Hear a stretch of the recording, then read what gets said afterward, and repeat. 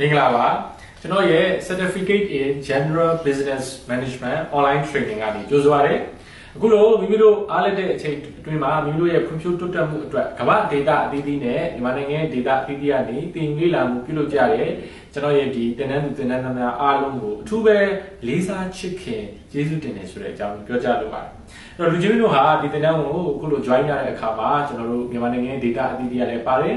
နောက်ကကျွန်တော်တို့နိုင်ငံခြားဒေသတွေကလည်းပါတာကိုတွေ့ရပါတယ်เนาะကျွန်တော်တို့ကိုရီးယားထိုင်းစင်ကာပူစသဖြင့်ပါကြပါတယ်အဲ့ဒီအတွက်လည်းကျွန်တော်ကအများကြီးလေးစားချစ်ခင်ကျေးဇူးတင်တယ်ဆိုတာပြောကြားလိုပါတယ်ကျွန်တော်ဒီ season ကိုစတော့ကပြောကြားခဲ့တယ်လို့ပါပဲကျွန်တော်တို့ဟာ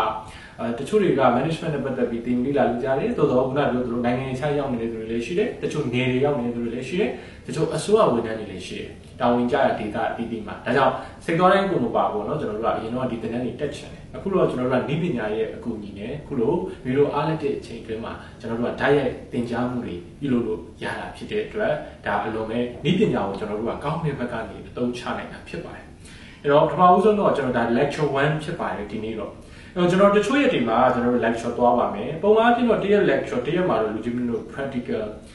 လေ့ကျင့်မှုတွေဆောင်ရမှာဖြစ်ပါတယ်။အဲ့တော့ကျွန်တော်တို့ business management မှာကျွန်တော်တို့ဟာ business management သဘောတရားတွေကိုသိရုံနဲ့မရပါဘူး။ကျွန်တော်သင်နေုံနဲ့မရဘူး။သင်သင်တဲ့နေရာကျွန်တော်သင်ဖို့ပဲအားအားပြုတယ်။လေ့ကျင့်မှုလိုအပ်ပါတယ်။နော်ကျွန်တော်တို့ဒီလိုပဲကျွန်တော်တို့ no လို့ခေါ်တဲ့ဒီ theory တွေကိုကျွန်တော်တို့ကသိရုံနဲ့မရဘူး။ understand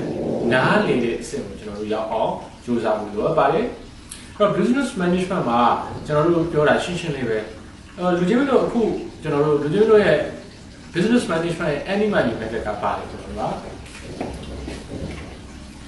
management ကိုမသွားမိမှာကျွန်တော်တို့က business management ဆိုတာရှိပါတယ်အဲ business နဲ့ management ကျွန်တော်တို့ကတွဲထားတာဖြစ်ပါတယ်ဆိုလိုတာကတော့ကျွန်တော်တို့က management ဆိုတာအမျိုးမျိုးရှိပါတယ်ဥပမာဆိုတော့ကျွန်တော်တို့ကအဲ religious management လည်းရှိပါတယ်အဲ့လိုပဲကျွန်တော်တို့က political management လည်းရှိပါတယ်အဲ့လိုပဲကျွန်တော်တို့က ဒီ management မှာ social management တွေရှိပါတယ်ဥပမာဆိုပါလို့ကျွန်တော်တို့ကမြန်မာပြည် political management မှာဆိုရင်ဒါ number 1က down sense စုကြည့်နော်ကျွန်တော်တို့ religious management မှာဆိုရင် number 1ကတိတိမှုဆရာတို့တရားရည် social management မှာဆိုရင် number 1ကဥကျော်သူစသဖြင့်ပေါ့ကျွန်တော်တို့က business management မှာလည်းဒီလိုပဲရှိကြတယ် management နဲ့ business မှာစပြီးကျွန်တော်တို့ဒီက business ကတက်တက် management တက်တက်ဖြစ်တယ် management ဆိုတာ business ကိုလည်းလုပ်တာမဟုတ်အများကြီးကျွန်တော်လုပ်လို့ရတယ်တိုးတော့ကျွန်တော်တို့ခုလေ့လာမှာက business management ကိုလည်းအဓိကအပြုပြီးလေ့လာမှာဖြစ်ပါတယ်ဒါလေးကိုကျွန်တော်တို့ရှင်းဥစွာသိဖို့လိုပါတယ်အဲ့တော့ကျွန်တော်တို့က business ဆိုတာဘာလဲ business ဆိုတာဟာကျွန်တော်တို့ value တစ်ခုကိုဖန်တီးပြီးတော့မှတန်ဖိုးတစ်ခုကိုဖန်တီးပြီးတော့မှကျွန်တော်တို့က benefit လို့ခေါ်တဲ့ profit လို့ခေါ်တဲ့ကျွန်တော်တို့ကအကျိုးအမြတ်တွေကိုရှာတာဖြစ်ပါတယ်အဲဆိုလိုတာကတော့ကျွန်တော်တို့အနေနဲ့အဲ for example ကျွန်တော်တို့ဒီ ဒီဒီမီနိုအနေနဲ့ဒီတင်တန်းကိုတက်တဲ့အခါမှာတချို့က business management အခြေခံမတက်ထားတဲ့လူတွေလည်းရှိပါတယ်တင်တန်းတစ်ခါမှမတက်ဘူးတဲ့လူတွေလည်းရှိနိုင်တယ်အတွက်ကျွန်တော်တို့က business နဲ့ management အကြောင်းကိုဒီ introduction lecture မှာရှင်းဥစွာရှင်းပြမှာဖြစ်ပါတယ်အစီဝါရေးလို့ပြောရင်ကျွန်တော်တို့ဒီတန်ဖိုးတစ်ခုကိုဖန်တီးပြီးတော့တာ profit ရှာတာဖြစ်ပါတယ်အစီဝါရေးတိုင်းစီဝါရေးတိုင်းဟာကမ္ဘာပေါ်မှာသူတို့ဒီ business time business time ဟာတန်ဖိုးတစ်ခုကိုဖန်တီးနေရပါတယ် အကယ်၍လူကြီးမင်းဟာတန်ဖိုးတစ်ခုကိုမဖန်တီးပဲ profit လိုချင်တယ်လို့ပြောရင်အဲ့ဒါလိမ့်နေတာဖြစ်ပါတယ်စီဝါရေးလို့ပြောရင်သိကြတယ်တန်ဖိုးတစ်ခုဖန်တီးရမှာဖြစ်တယ်အဲ့တော့ business ဆိုပြောရင်ကျွန်တော် business မှာ value ဖန်တီးတဲ့ပုံစံတွေများစွာရှိပါတယ်။အဲ့တော့ဒါတွေကတော့ကျွန်တော်ဒီမှာအသေးစိတ်မပြောတော့ဘူး။သို့တော့အခြေခံအဖြစ်တန်ဖိုးဖန်တီးတဲ့ပုံစံတွေကဥပမာဆိုပါဆိုကျွန်တော်တို့ကအာ agency ဆိုတဲ့ value ကိုဖန်တီးတယ်။အဲ့တော့ agency ဆိုတာတော့ဘာမှလည်းမထုတ်ဘူး။ ဘာမှလည်းမရောဘာမှလည်းမဝယ်ဘူး။ရောင်းတဲ့သူနဲ့ဝယ်တဲ့သူကြားမှာလိုအပ်တဲ့ဝန်ဆောင်မှုတွေကိုဆောင်ရွက်ပေးတာ။ဒါ agency လို့ခေါ်တယ်။ဥပမာ mad တင်မှုတွေလို့ model agency ဆိုရင်ဒါကသူကကုန်ပစ္စည်းထုတ်လုပ်တဲ့သူတွေနဲ့ဝယ်ယူတဲ့သူတွေကြားထဲမှာလိုအပ်တဲ့ marketing social public relation PR activity စတာတွေကိုကျွန်တော်တို့ကဆောင်ရွက်ပေးတဲ့သဘောမျိုးဖြစ်ပါတယ်။တချို့တွေကြတော့ resource sharing ကျွန်တော်တို့ရှိနေတဲ့ resource တွေကို share လုပ်ပြီးတော့မျှဝေပြီးတော့ကျွန်တော်တို့ value ဖန်တီးတဲ့ပဲဖြစ်တယ်။ဥပမာကျွန်တော် example အနည်းဆုံးဆိုကျွန်တော်မြင်တာမြင်တာအောင်ပြောရရင်ရက်ွက်ထဲက body fitness center ဒီ value ဖန်တီးဟိုဖန်တီးတဲ့ပုံစံက share resource ပုံစံဖြစ်တယ်။အဲ့တော့ကျွန်တော်တို့က body fitness center တစ်ခုထဲမှာကျွန်တော်တို့အနေနဲ့ဘာတွေရှိလဲအဲလိုအပ်တဲ့ပစ္စည်းတွေရှိတယ် equipment တွေရှိတယ်သူနေရာကိုငှားထားတယ် ဝယ်ထားအဲ့ resource ကို member တွေကဒီ body fitness ရဲ့ member တွေက member ချင်းပေးပြီးတော့ member fees ပေးပြီးတော့သူ့ရဲ့ resource ကိုကျွန်တော်တို့ဘာလုပ်တာလဲ share လုပ်တာဖြစ်ပါတယ်အဲ့တော့ဒီမှာနှစ်ခုနှစ်ဖက်ပေါ့ body fitness business ကိုတည်ထောင်ထားတဲ့သူအနေနဲ့လည်းသက်ဆိုင်ရာအကျိုးအမြတ်တွေရရှိတယ် member တွေများလာတဲ့အခါမှာ member တယောက်ချင်းစီအနေနဲ့လည်းဘယ်လောက်ပဲချမ်းသာချမ်းသာသူ့အိမ်မှာဒီပစ္စည်းတွေအများကြီးဝယ်ထားဖို့ဆိုတာမဖြစ်နိုင်ဘူး ဒါဆိုတော့သူ့အနေနဲ့လည်းတွက်ချေကိုက်စတဲ့ business တွေတန်ဖိုးတစုံတရာတချို့ကျတော့ subscription value ဆိုတာဖန်တီးတယ် subscribe value ပေါ့နော်အဲ့ဒါကိုထင်ရှားဆုံးမြင်နိုင်တာကတော့ Skynet ပေါ့နော်ကျွန်တော်တို့ဥပမာလူကြီးမြင့် Skynet တက်ထားတယ်ဆိုရင် Skynet ကိုလစဉ်ကြီးကျွန်တော်တို့ကပေးနေရတယ်အမြဲတမ်းကျွန်တော်သူ့ကို subscribe လုပ်လိုက်တိုင်းသူ့ကိုကျွန်တော်ရဲ့ဒီ member member တက်တက်ကိုတိုးလိုက်တိုင်းမှာကျွန်တော်တို့ fees တွေပေးနေရတယ် အဲကျွန်တော်ရဲ့ success club ဆိုတာရှိတယ်အဲလူချင်းတို့လည်းတချို့ success club ထဲဝင်လာတဲ့လူတွေရှိတယ်ဒါလည်းပဲကျွန်တော်တို့ကပြောတဲ့ subscription business ကိုအခြေခံရတာဖြစ်ပါတယ်အဲစသဖြင့်ကျွန်တော်တို့ကစီးပွားရေးဟာတန်ဖိုးမျိုးစုံဖန်တီးနေရတယ်အဲ့တော့အဓိကကျွန်တော်တို့စပြီးတော့ဒီ business management မှာကျွန်တော်တို့အခုစပြီးကြည့်မှာလား business ကိုကျွန်တော်တို့စကြည့်ကြည့်အောင်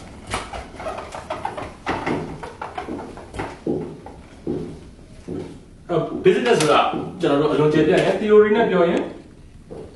၄နှစ်လောက်လေ့လာလည်းမကုန်ဘူး၅နှစ်လောက်လေ့လာလည်းမကုန်ဘူး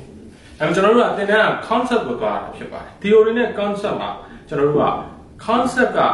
အရေးကြီးပါတယ်တိုးတော့ theory ကိုမသိဘဲနဲ့ concept မိလာတာလည်းတယောက်မှမရှိပါဘူးအဲကျွန်တော်တို့ကဘယ်ပညာရေးကိုလေ့လာလေ့လာရှေးဥစွာ theory ကိုလေ့လာရတယ်ပြီးရင် concept မိအောင်လေ့လာတာဖြစ်ပါတယ် concept မိလာရင်လူချင်းတို့လက်တွေ့ဆောင်နိုင်တယ်လို့လူချင်းတို့ကိုယ်တိုင် theory တွေရေးလာနိုင်တာမျိုးဖြစ်ပါတယ်အဲကျွန်တော်စီးပွားရေးလို့ပြောရင် business ဆိုတော့ကျွန်တော်ခုနပြောခဲ့တဲ့အတိုင်း business စီတန်ဖို့ဖန်တီးတယ် business ကိုစာရီကဖတ်ရင်အများကြီးပဲတော်တော်ကျွန်တော်ဒီမှာ concept ကို15မိနစ်လောက်အတွင်းမှာလူချင်းမျိုးကို business cycle ဆိုတာလေးကိုကျွန်တော်ဒီမှာဆွေးနွေးပါမယ်အဲဘာမှရှင်းတဲ့ business တွေအားလုံးကိုကျွန်တော်တို့ကဒီ whiteboard ကိုတင်လိုက်ဆိုရင်စီးပွားရေးလို့ပြောရင်ဘာမှပြောတယ်ကျွန်တော်တို့ကစီးပွားရေးဆိုတာဟာ jobs အစုအပေါင်းကိုစီးပွားရေးလို့ပြောတာဖြစ်ပါတယ်အဲ့တော့ စီးပွားရေးလို့ပြောရင်လုတ်တဲ့အလုပ်အကင်အစုအပေါင်းကိုကျွန်တော်တို့ကစီးပွားရေးလို့ပြောတာဖြစ်တယ်။ဥပမာမြန်မာနိုင်ငံရဲ့စီးပွားရေးလို့ပြောရင်မြန်မာနိုင်ငံမှာရှိတဲ့အလုပ်အကင်တွေ job တွေအားလုံးကိုပေါင်းလိုက်တာကိုမြန်မာစီးပွားရေးလို့ပြောတာဖြစ်ပါတယ်။ဆိုလိုတာဒီ job ထဲမှာကျွန်တော်တို့ကအလုပ်လို့ပြောရင်တစ်မျိုးပဲရှိတယ်။ employer ရဲ့ employee ရဲ့ကျွန်တော်ဒီလိုခေါ်တာအလုပ်ရှင်ရဲ့အလုပ်သမားရဲ့ဝန်ထမ်းရဲ့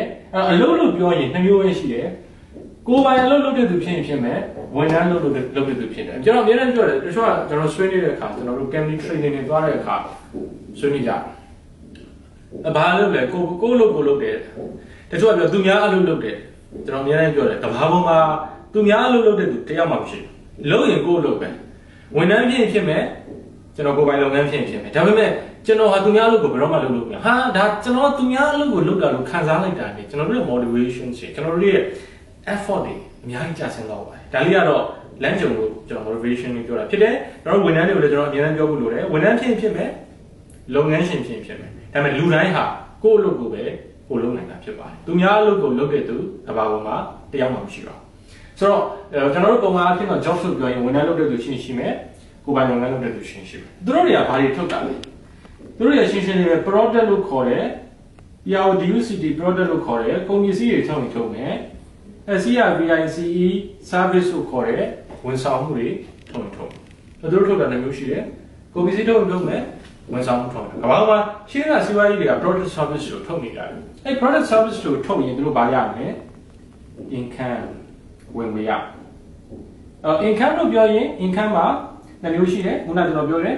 ဝန်ထမ်းတွေဆိုရင် salary ရမယ်။ကိုယ်ပိုင်လုပ်လုပ်တဲ့သူဆိုရင်ကျွန်တော်တို့ဘာရမလဲ profit ရ။အဲ profit ပဲဖြစ်ဖြစ် salary ပဲဖြစ်ဖြစ် income ရဝင်ငွေရအဲ့တော့လူချင်းမင်းတို့ကဝန်ထမ်းလို့ပဲခဏယူဆကြည့်ကြည့်အောင်ဆိုရင်လူချင်းမင်းကလာကိုလေလာခရအောင်အဲ့ကျွန်တော်မေးမယ်လာခရရင်လူချင်းပါလို့လာခရရင်အကျိုးဆက်ကျွန်တော်ပြောပြောလာခရအကျိုးဆက်ဟုတ်တယ်သုံးတယ်ထူးဆန်းတယ်နော်ကျွန်တော်တို့က product service တစ်ခုခုထုတ်ရတယ်ကမ္ဘာပေါ်မှာရှိတဲ့စီးပွားရေးလုပ်တဲ့သူတိုင်းအလုပ်လုပ်တဲ့သူတိုင်း product တစ်ခု service တစ်ခုခုကိုထုတ်တဲ့ process မှာပါဝင်နေတဲ့သူတွေကြီးပဲအဲ့တော့ကိုယ်ကလေ product တစ်ခု service တစ်ခုထုတ်လိုက်တယ်ရလာတဲ့ income ကိုကျွန်တော်ဘယ်လိုပဲပြန်သုံးလဲအဲ့ဒီ product အဲ့ဒီ service တွေကိုပဲပြန်ဝယ်ရတယ်ကျွန်တော်တို့ရတဲ့ပတ်စံတွေကိုလည်းကျွန်တော်တို့ကဒီသူများတွေထုတ်တဲ့ product သူများတွေထုတ်တဲ့ service ကိုပြန်ဝယ်ရတယ်ဒါကျွန်တော်တို့ကဘာဦးအစဆိုကျွန်တော်တို့ကဒီငွေကြေးဆိုတာမပေါ်မီလို့ဆိုရင်ကျွန်တော်တို့ကကြုံလို့ပြောပါတယ်ကျွန်တော်ငွေကြီးဆိုတဲ့စကားလေးဆက်သွားတော့စာရေးဆရာကျွန်တော်လိုပဲကြုံဟိုအများနဲ့ကျွန်တော်ကြုံလာလေးတွေပြောတယ်အဲ့ဒါဘာလဲဆိုတော့မြန်မာစကားဟာငွေကြီးမြန်မာနှစ်မျိုးရှိတော့ပိုက်ဆံလို့သုံးတယ်ငွေကြီးလို့သုံးတယ်ပိုက်ဆံကတော့မြန်မာစကားမဟုတ်ပါဘူးပိုက်ဆံကကလားစကားဖြစ်ပါ ပိုက်ဆံဆိုကလားစကားကိုဆင်းသက်လာတာပေါ့နော်အဲ့တော့မြန်မာစကားကိုပိုင်းတော့ငွေကြီးပေါ့ဘာလို့ငွေကြီးလို့သုံးလဲဆိုတော့ရှင်းပါတယ်ကျွန်တော်တို့မြန်မာတွေကအရင်တုန်းကငွေဒင်းကကြီးဒင်းကားတွေနဲ့သုံးလို့ပြီးတော့အဲအသုံးပြုခဲ့လို့ဖြစ်ပါတယ်အဲ့တော့မင်းကလည်းကွာငွေဒင်းကကြီးဒင်းကရွှေဒင်းကားတွေရောမပါဘူးလားအဲလူကြီးတို့ကရွှေဒင်းကားကအဲ့ဒီခေတ်ကဘယင်ပဲသုံးနိုင်တာပေါ့နော်နန်ရင်းတစ်ဝိုက်လောက်ပဲသုံးနိုင်ပြီးတော့မှဒါမှဒီသူပြည်သားအများစုကတော့ငွေဒင်းကားကြီးဒင်းကားတွေကို ကင်ကြွယ်ပြီးတော့မှစီးပွားရေးကိုကုန်ပစ္စည်းတွေဖလှယ်ကြတာဖြစ်တဲ့အတွက်ကျွန်တော်တို့မြန်မာစကားမှာဒီ currency ပေါ့နော်ဒီငွေကြေးလို့ကျွန်တော်တို့ကသုံးတာဖြစ်ပါတယ်ဒါကျွန်တော်တို့ပြောတာပါအဲ့ဒီငွေကြေးမပေါ်မီကတော့ကမ္ဘာပေါ်မှာ barter trade လို့ခေါ်တဲ့ကုန်စည်ချင်းချင်းဖလှယ်တာပေါ့နော်ဥပမာသူက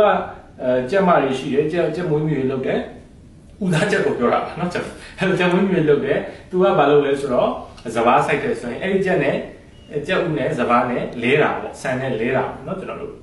အဲ့တော့အခုခေတ်ကဘာသာ trade မရှိဘူးလားရှိတယ်အခုခေတ်လည်းဘာသာ trade လုပ်လို့ရတယ်ရှိတယ်အဲကျွန်တော်က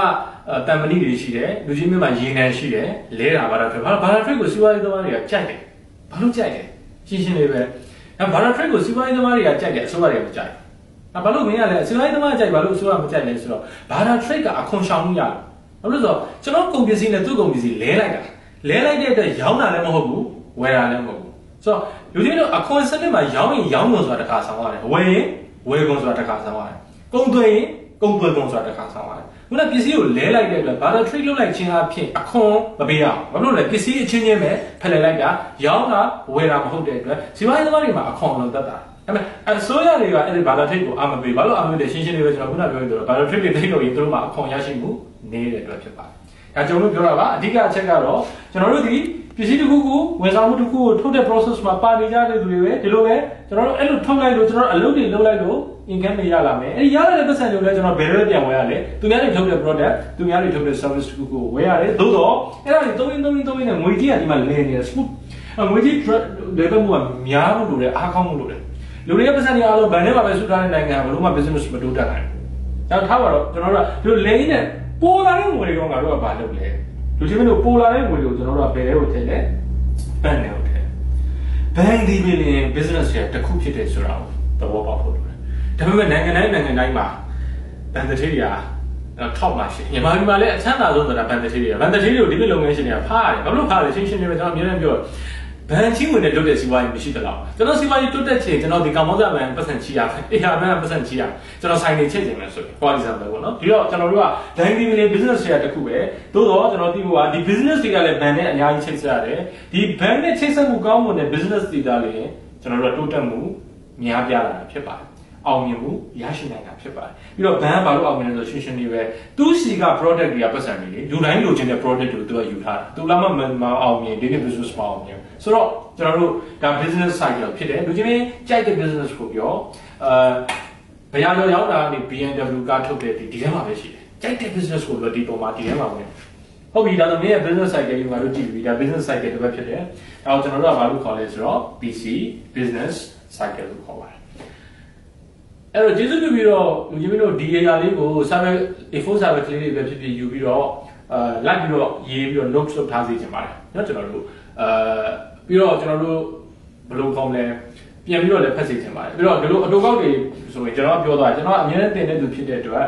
အတူကောက်ယူလို့ရှိတယ်ဒါဆိုကျွန်တော်ပြောတဲ့ employer က employee เนาะဒါ product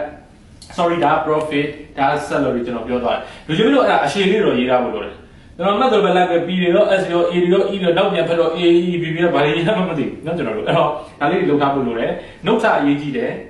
ကျွန်တော်ဒီမှာကျွန်တော်သင်တန်းတက်တဲ့သူတွေကိုကျွန်တော်စာရေးတွေပို့မပေးဘူးဟိုစာရေးပို့ပေးရတာ online ကနေဘာမှပတ်စံကုန်တဲ့ကိစ္စလည်းမဟုတ်ဘာလို့မပို့ပေးလဲလူချင်းတွေတို့ written notes လုပ်စီခြင်းလို့ဖြစ်တယ်လူကအတ္တရှိတယ်ကျွန်တော်ပုံလေးစာရေးတွေပေးပြီးတော့ဖတ်လိုက်တာနဲ့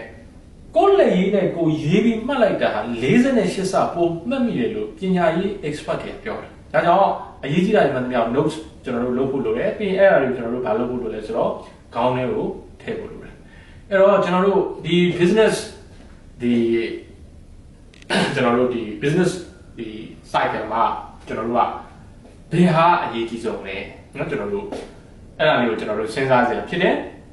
ဒီ business cycle ထဲမှာကျွန်တော်တို့ကအရေးကြီးဆုံးတစ်ခုကိုပြပါလို့ပြောရင်ဒီ business cycle ထဲမှာအရေးအကြီးဆုံးတစ်ခုက ဘာပါလဲလူချင်းချင်းစဉ်းစားကြည့်ပါဒီ business cycle ထဲမှာအရေးအကြီးဆုံးတစ်ခုအကုန်လုံးအရေးကြီးတယ်မှန်တယ်အကုန်လုံးအရေးကြီးတယ်ဒါပေမဲ့ကျွန်တော်အများကြီးပြောညီမနှစ်ယောက်လုံးယူလို့မရအောင်เนาะတစ်ခုကိုကျွန်တော်ရွေးရမယ်လို့ပြောရင်အရေးကြီးဆုံးတစ်ချက်ကဘာလဲအဲကျွန်တော်10မိနစ်လောက်အချိန်ပေးမယ်ဒီကနေ့အခုစာရွက်ပေါ်မှာရေးကြည့်ပါပြီးရင်စဉ်းစားကြည့်ပါပြီးရင်သုံးသပ်ကြည့်ပါဒီ business cycle တွေကဘယ်တစ်ခုဟာ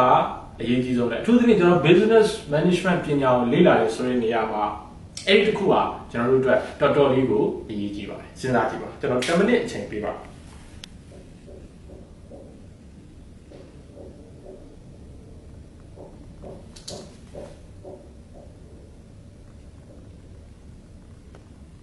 ရပါပြီလား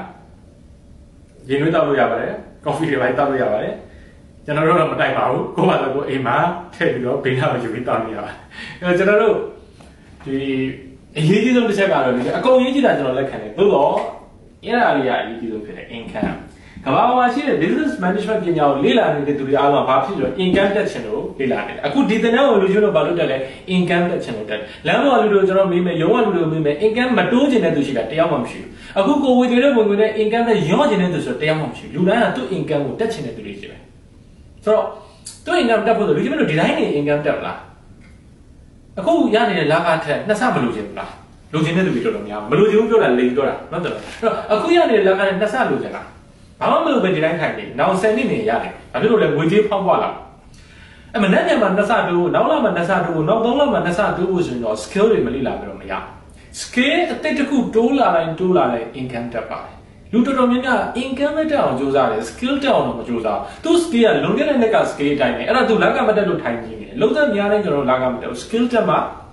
income တက်မှာဖြစ်ပါတယ်ဒါကြောင့်ကျွန်တော်တို့က business management ပညာ marketing ပညာကိုလေ့လာတဲ့သူက marketing လုပ်ပြီးတော့ marketing ပညာရေးနဲ့ income တက်အောင်ပဲလေ့လာတာ HR ပညာရေးကိုလေ့လာတဲ့သူတွေ HR ပညာရေးနဲ့ income တက်အောင်ပဲလေ့လာတာဒါကြောင့် income က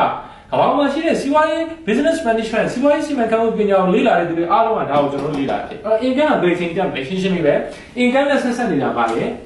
product service ဖြစ်တယ်။ဒါကြောင့်လူချင်းမင်းဒီလူချင်းမင်းထုတ်တဲ့ပစ္စည်းလူချင်းမင်းထုတ်တဲ့ဝန်ဆောင်မှုအကြောင်းကိုပိုနားလေလာတိုင်းလာတိုင်းမှာကျွန်တော်တို့ဘာဖြစ်လာမလဲ income တက်လာမှာဖြစ်ပါတယ်။ဒါကြောင့်လူချင်းမင်းတို့ကအခုလို program တွေမှာ join ပြီးတော့မှစဉ်ဆက်မပြတ်သင်ယူလေ့လာနေကြရတာဖြစ်ပါတယ်။ ဒါကြောင့်ကျွန်တော်တို့ introduction lecture မှာကျွန်တော်စပြီးတော့မိတ်ဆက်တာဟာ business ဆိုတဲ့အကြောင်းကိုကျွန်တော်တို့မိတ်ဆက်ပါတယ်။အဲ့တော့အဲ့ဒါနဲ့ပတ်သက်ရင်ကျွန်တော်တို့ကဒီ business management နဲ့ပတ်သက်ရင်ကျွန်တော်တို့ကတန်ဖိုးဖန်တီးမှုဟာအလွန်အရေးကြီးတာဖြစ်တဲ့အတွက်ကျွန်တော်တို့လက်တွေ့တန်ဖိုးဘာကိုကိုဖန်တီးနေလဲကောင်းစွာနားလည်တော့ပေါ့ဖို့လိုတယ်။ဥပမာဆိုရင်ကျွန်တော်ကစာရေးတယ်။ကျွန်တော်ကရေးတာ motivation ရေးတာ။အဲ့ တော့ motivation ရေးတာလို့ပြောရင်ကျွန်တော်ရဲ့တန်ဖိုးကဘာလူတွေကိုစိတ်သက်မြင်မအောင်လုပ်ဖို့စိတ်သက်မြင့်တင်အောင်လုပ်ဖို့ဆိုရင်အဲကျွန်တော် Facebook ကိုလူချင်းမလို့ကြည့်ကြည့်ကျွန်တော်သူများမကောင်းအောင်ရေးလို့မရအောင်သူများလို့ကျွန်တော် attack လုပ်ပြီးရေးလို့မရအောင်ကျွန်တော်လူပဲဟိုကိုကြည့်မရတဲ့လူလည်းရှိတာပေါ့ဒါတော့အပြင်လောကမှာလင်းတိုင်းညွန့်ဆိုတဲ့ live အနေနဲ့ကျွန်တော်သူများကိုလည်းထိုးလို့လည်းရတယ်ပြီးတော့ရှင်းပေါ်ပြဖြည့်ရှင်းပေါ်မှာရန်ဖြစ်လို့လည်းရတယ်နော်သူများအတင်းပြောလို့လည်းရတယ်ဒါပေမဲ့လင်းတိုင်းညွန့်မြန်မာပြည်ဆိုတဲ့ကလောင်ကြတော့ အဲကျွန်တော်ရဲ့လုပ်ငန်းဖြစ်သွား professional ဖြစ်သွားအဲလင်းတိုင်းညွန့်မြန်မာပြည်ကလောင်ရဲ့တန်ဖိုးကိုပြန်ကြည့်ရင် तू က positive value ဖြစ်တယ်သူက motivation value ဖြစ်တယ်သူစာအုပ်ဖတ်ရင်လူတွေကတက်ကြွရမယ်လောကကြီးကိုအကောင်းမြင်ရမယ်လူလူချစ်တဲ့စိတ်တွေမေတ္တာစိတ်တွေများအောင်ကျွန်တော်တို့ကလုပ်ရဆိုတော့အဲ့လင်းသားချင်းမြန်မာပြည်ကလောင်ကြီးနဲ့ကျွန်တော်ကသူများကိုတွားပြီး attack လုပ်တာမျိုးရေးလိုက်ရင်ဒါကျွန်တော်ရဲ့ဗာကြသွားလဲဆိုတော့ brand value ထိုးပြီးတော့ကြာလာတယ်ဖြစ်အဲ့တော့တန်ဖိုးထားမှုကအလွန်ကြီးကြည့်တယ် အဲ့တော့ကျွန်တော်စာအုပ်ကိုဖတ်လိုက်လူတွေကဘာဖြစ်ရမလဲတက်ကြွရမယ်လောကကိုချစ်တဲ့စိတ်တွေများလာမယ်လူလူချစ်တဲ့စိတ်အလုံးလုံးချစ်စိတ်တွေဖြစ်လာဒါတော့ကျွန်တော်ကျွန်တော်ဟောပြောမဲ့နားထောင်နိုင်လေဒါပဲဖြစ်ရမယ်အဲ့တော့လင်းသားကျစာအုပ်တွေဖတ်ပြီးတော့ဇွဲကြကြတည်သွားတယ်ဆိုတော့ဒါမဟုတ်တော့အဲကျွန်တော်လည်းဟိုကရည်စရာနောက်ကျ throw ရတယ်ပြီး see you at the top အဲသူတို့ throw နွားတကောင်ပြတယ်အဲအဲ့နွားခဏလောက်လည်းအောက်ကပုံနဲ့ရောက်တော့ဟိုရေးတိုင်းကြီးပေါ်ရောက်သွားတယ်အိမ်ပေါ်ကရေးတိုင်းကြီးအပေါ်ဆုံးရောက်သွားတယ်အဲ့မှာသူကရေးထားတယ်လင်းတိုင်းညွတ်စာအုပ်များအဖက်များတော့နွား ဆိုတော့ဒါကကျွန်တော်ဟို throw ရဆိုလို့ကျွန်တော်ဟိုကြိုက်တော့ကြိုက်ပြီးချစ်တော့ချစ်ပြီးအဲကျွန်တော်ရဲ့ value ကိုသူကပြည့်တယ်ကျွန်တော်စာအုပ်ဖက်ရင်ထိတ်ဆုံးအောင်ရောက်ဆိုတော့အဲ့ဒီ value ကိုကျွန်တော်တို့ကဆွဲမြအောင် brand ကိုတိစောက်ဖို့လိုတယ်ဆိုတော့လူတွေလက်ရှိလုပ်နေတဲ့စီးပွားရေးမှာလည်းဘာလို့တော့ hotel value ကျွန်တော်တို့ hotel management training တော့အမြဲတမ်းပြော hotel value တစ်ခုပဲရှိတယ် second home ဒုတိယအိမ်ဖြစ်ဖို့လိုတယ် hotel value ကလာတဲတဲ့သူတိုင်းဒုတိယအိမ်ကိုခံစားကျွန်တော်သင်တန်းကျောင်းတစ်ခုရဲ့ value knowledge development or တွေးခေါ်မှုကိုသင်ပေးတာဖြစ်တယ်ကျွန်တော်အများကြီးတက္ကသိုလ် university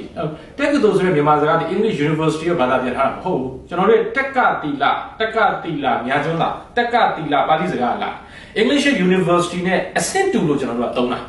ကျိုးစာလုံးထဲမှာ computer ဆိုတာမြန်မာစာလုံးမဟုတ်ဘူးဒါ English ကယူထားတာ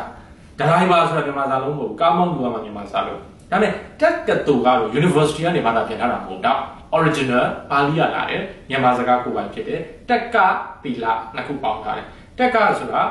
တွေးခေါ်မှုဖြစ်တယ်တိလဆိုတာတော့အလေးကျင့်ဖြစ်တယ်အဲ့တော့တက်ကတိလဆိုတော့တွေးခေါ်မှုကိုလေ့ကျင့်ပေးတဲ့နေရာကိုတက်ကတူလို့ခေါ်တယ်လူချင်းမင်းတင်တန်းကြောင်းဖွင့်တာလူချင်းမင်း value ကပါလူချင်းမင်းတင်တန်းကြောင်းလာတက်တဲ့သူတွေဆံမအောင်သွားတာလားစားရသွားတာလားမဟုတ်ဘူးတွေးခေါ်တတ်အောင်တွေးတတ်အောင်သင်ပေးတာဒီထက်ပိုပြီးကျွန်တော်ပြောပြန်အသုံးချတတ်အောင်သင်ပေးနိုင်တာဆိုတော့ကျွန်တော်တင်တန်းတင်တဲ့ဆရာတယောက်အနေနဲ့ကျွန်တော်တင်တန်းသားတွေက တင်တန်းပြီးတော့တင်တန်းတွေ့တဲ့အခါမှာသူတို့ဒီကျွန်တော်တင်လိုက်တဲ့ပညာကိုသူတို့လုံလုံးတွေမှာဘလို့သုံးလိုက်တယ်လို့ပြန်ပြောဆရာတင်တဲ့ပညာပြန်အသုံးချလို့ရတယ်လို့ပြောတာဟာကျွန်တော်တို့တို့ pride ပဲဆိုတော့ဒီဟာကို value ကိုကျွန်တော်ဒီလောက်နားလည်အောင်ရှင်းပြတာလူချင်းမလို့မနေ့ကလောက်ရမယ်လက်တွေ့ exercise ပဲဖြစ်ပါတယ်เนาะကျွန်တော်တို့အဲ့တော့ဒီနေ့ကတော့ကျွန်တော်တို့က lecture လေးဖြစ်တယ်မနေ့ကကတော့ကျွန်တော်တို့ကအဲ့ဒီ lecture ကို reflect လုပ်တဲ့ exercise ကိုကျွန်တော်တို့ပုံမှန်လုပ်ရမှာဖြစ်ပါတယ် ဒီဟာတစ်လသင်တန်းဖြစ်တယ်ဆိုပေမဲ့တစ်လတည်းမပြီးရင်လည်းကျွန်တော်ရက်တိုးပြီးသင်မှာဖြစ်ပါတယ်အဲ့တော့ပထမဦးဆုံးမနေ့ကမှာဒီနေ့ဒီသင်ခန်းစာကိုလေ့လာပြီးလူချင်းတို့မနေ့ကမှာလုပ်ရမှာတော့လူချင်းတို့ value creation ဆိုတာကိုလက်တွေ့လုပ်ရမှာဖြစ်တယ်ဒါဒီ business ရဲ့အသက်ဖြစ်တယ်ဒီဝိုင်းတစ်ခုစလို့ရင်လူတွေစီကပတ်စံဘယ်လိုရမှာလဲပတ်စံရအောင်ဘယ်လိုတော့အမြဲတမ်းပြောကျွန်တော်ပြောတယ်လူတွေစီကပတ်စံရတာ business မှာအရင်မှယူမှန်းချက်မဟုတ်ဘူးဒါပေမဲ့ဟိုယူမှန်းချက်ထဲမှာတော့ပါတယ်ဒါပေမဲ့ကျွန်တော်တို့လူတွေစီကပတ်စံရပတ်စံဆိုတာအရင်မှယူမှန်းချက်ဖြစ်ပြဿနာရှိတယ် ပတ်စံ reserve ပဲဖြစ်ပါစေရလက်ပဲဖြစ်ပါစေဥပမာကျွန်တော်အခု training လုပ်တယ်သိနေတယ်ဟောနေတယ်ကျွန်တော်ဟောပြောပွဲတွေတွားနေတယ်မနေ့ကလည်းကျွန်တော်တို့ကုန်နေဆက်မှုအသင်းချုပ်ပေါ့မန္တလေးမှာကျွန်တော်တို့တွားမယ်အဲ့တော့မနေ့ကကျွန်တော်တို့သပတ်ခါပေါ့အဲ့တော့ကျွန်တော်တို့တပတ်ခါမဟုတ်ဘူးဒီနေ့ဒီနေ့ပေါ့အခုကျွန်တော်တို့ဒီနေ့ကျွန်တော်တို့မန္တလေးမှာဟောမယ်ဆိုတော့ကျွန်တော်ဆိုလိုချင်တာကကျွန်တော်တို့အနေနဲ့ဒါတွေကျွန်တော်တို့လုပ်နေတယ်အဲ့တော့ဒါတွေမြင့်တင်တဲ့ကငါတို့အလကားတက်တာလည်းမဟုတ်မှန်တယ်ပတ်စံပြပြီးတက်ရတာငွေချင်းပြပြီးတက်ရတာသို့တော့ ငွေချင်းရဖို့ကကျွန်တော်တို့ animal humanity ဆိုပြဿနာရှိတယ်ကျွန်တော်တို့မှာ humanity ရှိရ knowledge transfer လူတွေကိုကျွန်တော်တို့ကလူချင်းတို့ရဲ့စဉ်းစားတွေးခေါ်မှုတွေကိုပို့ပြီးတော့ develop ဖြစ်လာအောင်လူချင်းတို့ရဲ့ business management ဆိုင်ရာ attitude တွေကိုပို့ပြီးများလာအောင်ကျွန်တော်တို့က facilitate လုပ်တယ်ဒီနေ့ခေတ်မှာဆရာနဲ့တပည့်တော်မရှိကျွန်တော်တို့က learners ပဲလူချင်းတို့လည်း learners ပဲဒါပေမဲ့ business management ပညာကိုကျွန်တော်တို့ကလေးလာတဲ့နည်းနည်းပို့ရင်ကျွန်တော်တို့က senior learners လူချင်းတို့က junior learners lifelong learning ဖြစ်တယ် ဆိုတော့အဲ့ဒီတွေးခေါ်မှုဒီပညာရေးတွေကိုဆွေးနွေးဖို့ကကျွန်တော်တို့ animal ရည်မှန်းချက်ပဲဒါတွေလုံးနေရကျွန်တော်ပြောတယ် exam ဖြစ်တယ်အမြဲတမ်းလေးလာတယ်အမြဲတမ်းသိနေတယ်နေ့တိုင်း management နဲ့ပတ်သက်ပြီးလေးလာ management အမြဲတမ်းလေးလာဖို့လို့ကျွန်တော်တို့တကြံပေးရဆိုတာမရှိဘူးတရင်ကျုပ်ပေးရလည်းမရှိဘူးစနေနေ့လည်းလေးလာတနေ့နေ့အနည်းဆုံးတော့ management နဲ့ပတ်သက်တဲ့စာတပုတ်ဖတ်ရင်ဖတ်မယ်ထောက်တစ်ခုကြည့်ရင်ကြည့်မယ် YouTube ကလေးလာလေးလာမယ်သင်တန်းတော့တက်တယ်မယ်သူများဟောပြောဝဲနောက်ထောင်ထောက်ထောင် excite life ကပြောဖို့ကောင်းအဲ့ဒါတွေကိုလုပ်ရင်းနဲ့ပတ်စံဆိုတာဗာလဲ result အနေနဲ့ရတာတာဖြစ်တယ် ပတ်စံကို animal ယူမှန်းကြဘာပတ်စံသိန်းတရာရအောင်ငါလို့ no သိန်းတရာဆို result ဖြစ်တယ်အဲ့သိန်းတရာရအောင်ဘာကိုဖန်တီးရမှာလဲ value ကိုဖန်တီးရမှာဖြစ်ပါတယ်ဒါကြောင့်လူကြီးမေအခုလက်ရှိစီးပွားရေးလုပ်နေ